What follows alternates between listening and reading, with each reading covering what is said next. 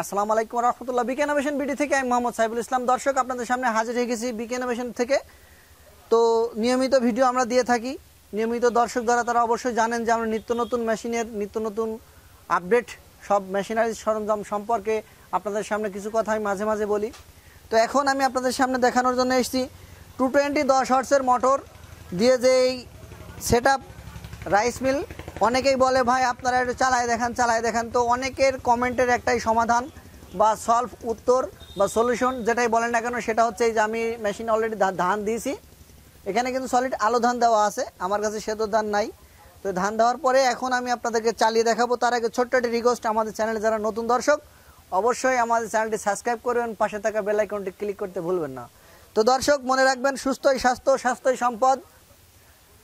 তো আপনি রোজগার করবেন, জীবিকার জন্য, খেলাধুলা করবেন, জীবনের জন্য।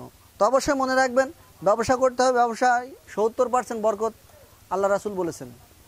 তো এখানে আমি আপনাদেরকে এখন চালিয়ে দেখাবো যে টু টোয়েন্টি ভোল্টে অনেকে বলে, ভাই বাসাবাড়ি বিদ্যুতেই টু টোয়েন্টি ভোল্ট আপনাদের কথাও সঠিক, কিন্তু এর এর মাঝখানে আরও একটি কথা রয়ে যায়, সেটা হচ্ছে এই যে টু টোয়েন্টি ভোল্ট মানেই যে বাসাবাড়ি বিদ্যুৎ তা নাই। আপনাকে দশ কিলো ওয়াট একটা ট্রান্সমিটার নেওয়া লাগবে এক্সট্রা ঢম প্লাস একটা বোতল এক এক এলাকায় এক একটা নাম বলা হয়। ওইটাই কিন্তু আপনার ব্যক্তিগত আট কিলো বা দশ কিলো লোড নেবেন। ওই লোডের মাধ্যমে আপনার মিটার দিয়ে আপনি চালাতে পারবেন। আর বাসাবাড়ি বিদ্যুৎ দিয়ে কোনো প্রকার রাইস মিল চলে না, কথাটা মনে রাখবেন। তো চলুন, ধৈর্য সহকারে দেখি মেশিনটি চালানো।